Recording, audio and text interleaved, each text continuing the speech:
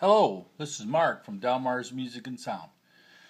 Somebody had asked me about uh, speaker break-in. I've got a 12-inch 50 watt speaker here. You get a new speaker sometimes. Um, the spider here, or the spider down here, is uh, very stiff. Uh, the edge around the ed, um, rolled edge around it is very stiff. The suspension is stiff on the speaker, so when you're building a new amp, you got a new speaker, it can be very stiff. So Best way to break it in, obviously, is to play the crap out it. However, you can use a Variac, which is what I have over here. I'll swing that over here. It's a Variac. And there's a formula. You can take uh, the wattage of the speaker, you know, 50 watts, divide it by 3 to get about third of the power. And uh, you multiply that by the ohm rating of the speaker 8 ohms, 16 ohms, whatever it might be and then you take the square root of that. That will give you a a safe watt or a safe voltage to put into the speaker um, at roughly a third power.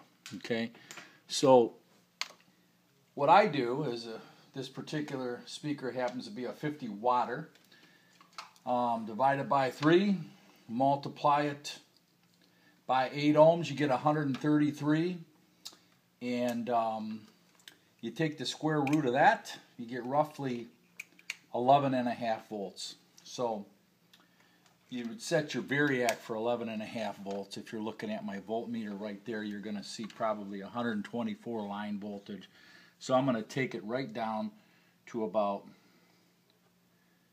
we'll put it right at about 11 point, or let's just take 11.51 volts AC, okay? Um, what you do at that point is you hook up two leads to the speaker. This is going to send a 60 hertz signal into the speaker at 11 volts, which would be about third power. You want your speaker, the suspension of your speaker aiming up like this. Um, you don't want it sagging. You could mount it in the cabinet, okay, which would probably be the best way to go.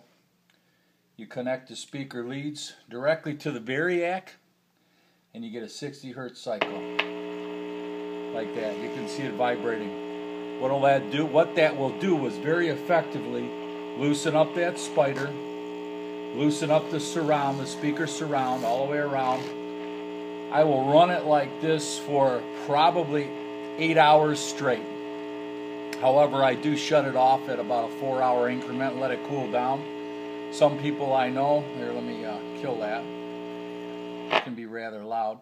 Some people will run them for an hour at a time, just like you're playing a set. Run it for an hour, give it a 15 minute break, run it for another hour, give it another 15 minute break so you don't heat the voice coil up. But I've yet to cook one, so I'll leave it like this. Usually set it on the ground, power it up, let it run cover it up with a uh, Tupperware container and let that spider break in and let the surround break in, especially if it's lightly doped. So you can do that to break in it. It does not break the cone in as, as quickly as, as it does the surround here and the spider. But there is a marked difference when you build a new amp and you don't get that loud volume and that play time. You, um, that you'd like to get that sound out of that speaker that will do it very effectively. So if you do your formula, the wattage rating of the speaker, 50 watts, take a third of that, multiply it by the ohm rating of the speaker. The result of that, take the square root, that'll give you your voltage reading. As I say, this one happened to be 11 and a half volts, and you'll be right within that range. So there you go from Delmar's Music and Sound.